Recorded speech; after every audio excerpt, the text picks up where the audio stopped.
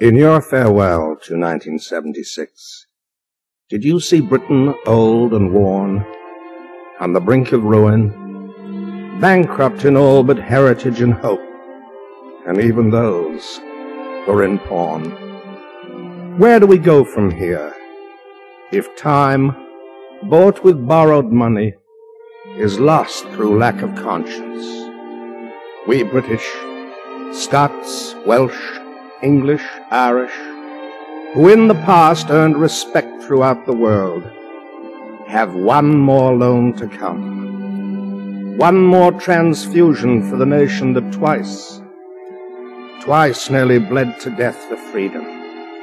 A nation that Churchill offered only blood and toil, tears and sweat. Have we really lost what he once inspired in us? the dignity of work, the urge to salvage honor, the will to win. Do we need loans for these? Friends, let us take, yes, take, not borrow this year of 1977.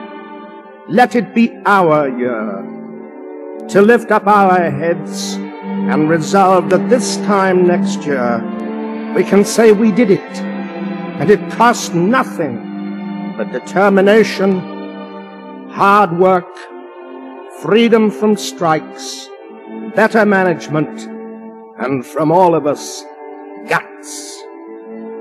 Lest without these virtues, we lose our freedom forever.